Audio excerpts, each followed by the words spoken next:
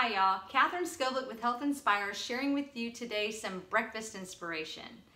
And about 78% of us, according to one source at least, says that we eat breakfast, which I'm glad to hear it.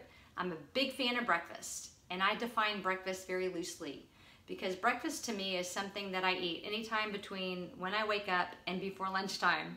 So it might look like a full-blown breakfast and it might just look like a snack.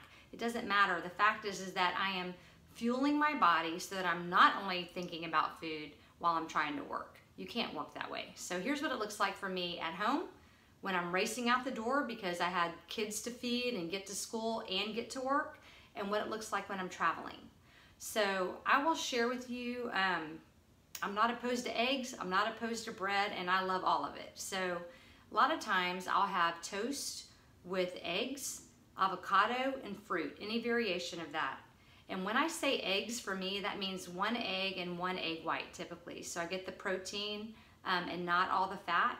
I use avocado because that's a good kind of fat. And I am fully addicted to Dave's bread, so I buy the thin sliced because that thicker slice was doing me in.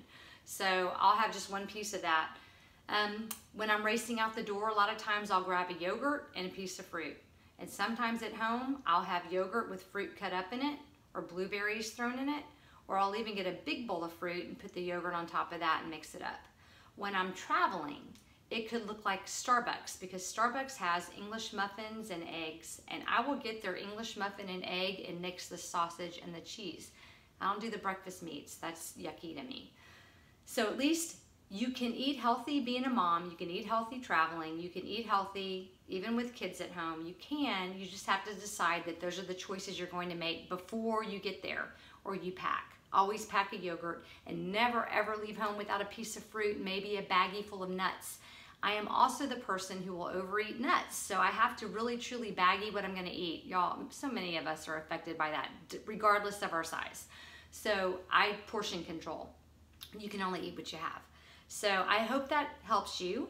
And your action step is for you to write your three to five go-to breakfast so that when you are in a rush and you're racing out the door, that you actually do take an extra 30 seconds to grab something healthy before you race out the door to work or wherever you're heading.